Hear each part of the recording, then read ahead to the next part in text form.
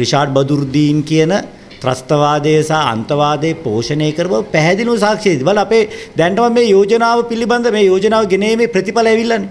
යුද හමුදා අපි මේ විශ්වාසභංග යෝජනාවේ අංක 1ට යුද හමුදාපතිවරයාට කරපු බලපෑම දැම්මේ නැත්තම් මේක යුද හමුදාපතිවරයා මාධ්‍යමෝක් ඉදිරියේ ඇවිල්ලා කියන්නේ නැහැ. මොකද හමුදාපතිවරයා කවදාකවත් ඇමතිවරයෙකුට එරියව මාධ්‍යමෝක් තියන්නේ නැහැ. තමුන්නාන්සලාට අපි දුන්න බෝලයක් තමුන්නාන්සලා දැම්මා යුද හමුදාපතිවරයා කෙලිම හය පාරක් ගැහුවා. මොකද එතුමා කියන්නේ? දැන් ඊයේ රිෂාඩ් බදුර්දීන් ඇමතිවරයා කියනවා නෑ නෑ මම එහෙම නිදාස් කරන්න කියලා බලපෑමක් කළේ නෑ කියලා. මොකද්ද යුද හමුදාපතිතුමා කිව්වේ?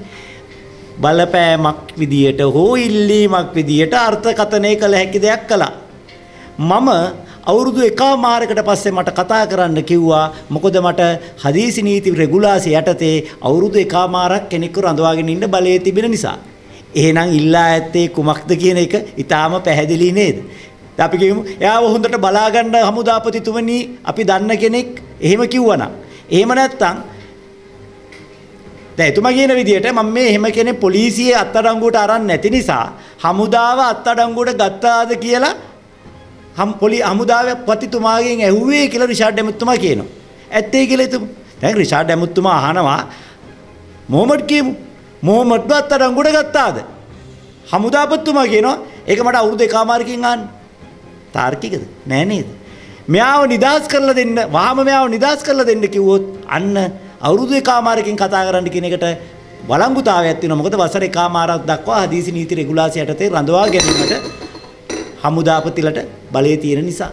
ඒ නිසා ඊටාම පැහැදිලි අත්තඩංගුවේ සිටින ත්‍රස්තවාදී මුදා ගැනීමට ඇමතිවරයා තමන්ගේ ඇමති ධූරයේ බලය පාවිච්චි කර තිබෙනවා. එහෙමනම් මේ පුද්ගලයා තවදුරටත් ඇමති ධූරයේ දැරීම ත්‍රස්ත විමර්ශන කටයුතු වලට බාධාවක් බව අපේ පළවෙනි යෝජනාව සත්‍යයක් බව දැන්ට ඔප්පු වී හමාරයි. ඒ විතරක් නෙවෙයි.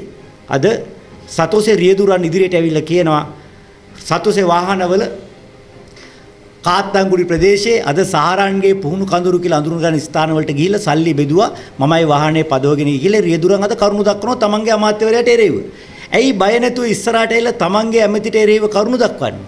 දැන් එයාට විශ්වාසයක් ඇති වෙලා තියෙනවා මෙයා ඇමති ධූරයෙන් ඉවත් වෙයි අපි බය නැතුව අපි දන්න දේ කියන්න ඕනේ. ඇමති ධූරයෙන් ඇත්තට ඉවත් වුණොත් තව මොනතරම් මොහුගේ ත්‍රස්ත සම්බන්ධතා හෙළි වෙයිද කියන කාරණේට මේ මේකම හොඳ නිදසුනක්. ඒ නිසා මේ යෝජනාව හැකි ඉක්මනින් විවාදයට ගැනීම ජාතික ආරක්ෂාව සුරක්ෂිත කිරීමෙලා තීරණාත්මක කාරණයක් විදිහට අපි කතානායකතුමාට සිහිපත් කරනවා. නිදාගෙන සිටින කෙනෙකු අවදි කළ හැකි නමුත් බොරුවට නිදා සිටින කෙනෙකු කිසිදාක අවදි කළ නොහැක.